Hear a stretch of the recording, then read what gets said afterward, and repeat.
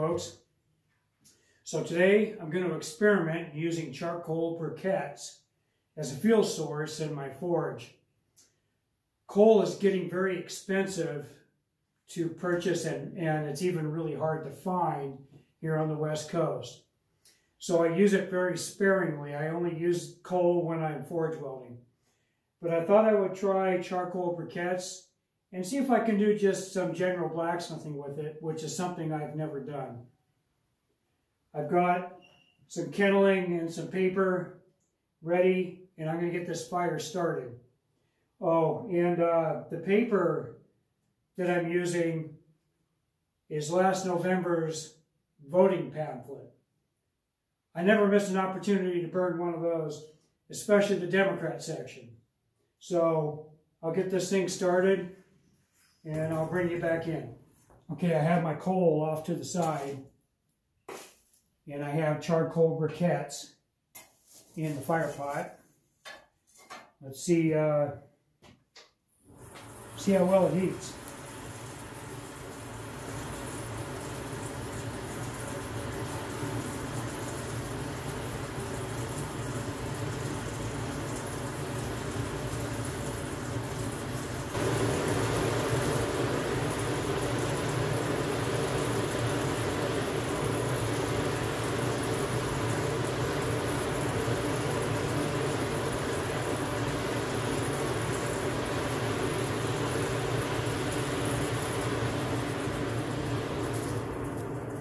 Hmm. Well, I can't seem to get it past orange.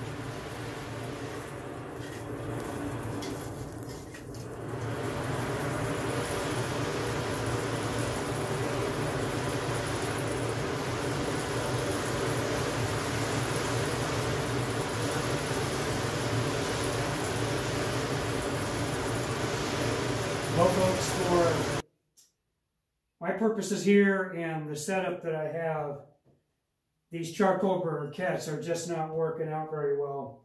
It's taking way too long to heat even a thin piece of steel up. And I can only get it orange in this fire pot. So the charcoal briquettes are still burning in there, so I'm going to throw some coal on top and uh, forge away. I guess I'm just going to have to find more sources for coal here on the west coast and and pay the money out. But like I said, I only basically use coal for when I'm forge welding now anyway. Otherwise, I use my gas uh, forge. It's just uh, getting too expensive and too hard to get a hold of here.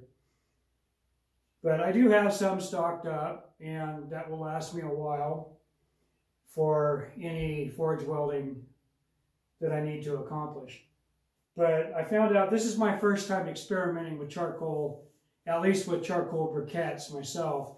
And, you know, it might be better if I put some fire brick on each side and really load it up with charcoal. But I don't know, there's a lot of sparks coming off. It doesn't seem to be getting as hot as coal. And there's an awful lot of uh, dust and ash accumulation. So I can already tell right now I'm not going to be too happy with it. So I'll just stick with the coal. All right, I'm going to get this fire going and start forging. okay, folks, I just wanted to show you something real quick. I got a coal fire going now, and I made it real small. I didn't pile a bunch of coal. So I wanted to keep the fire about the same size as I had with the charcoal briquettes. Now, I had this thin piece of steel in there in the charcoal briquettes for nine minutes, cranking the air to it, and I could only get it orange. So now I got an equivalent size fire, but in coal, and this this piece is dead cold. As a matter of fact, I stuck it in the water. Yeah, it's it's cold. So I'm going to stick it in this fire, and let's see uh, how fast I can heat this up to yellow in coal.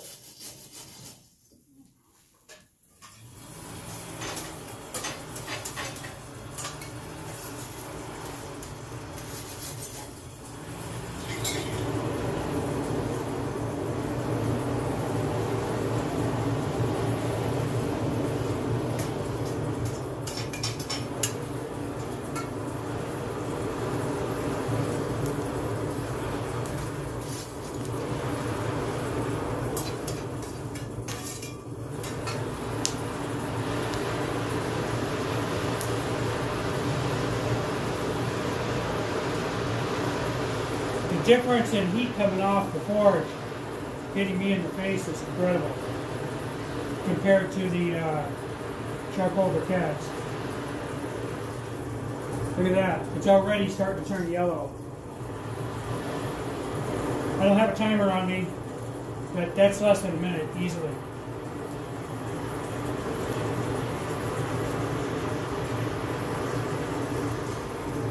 Look at there. It's already starting to sparkle on the end. I've almost got it to a forge welding temperature. And that's what, about a minute? Less than a minute? So that's the difference between charcoal and coal, at least in this setup here. Amazing.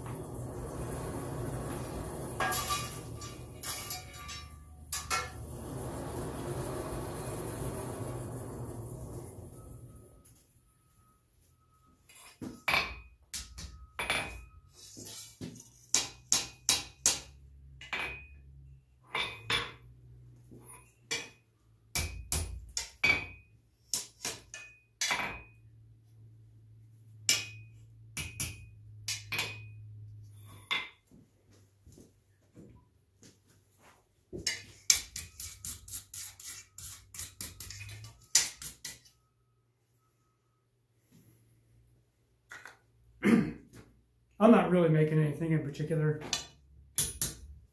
I'm just kind of screwing around. but the main thing, I was just trying to do some experimentation with the uh, charcoal briquettes. I figured since I had some coal on here, I might as well just have some fun. All right. Talk to you folks later.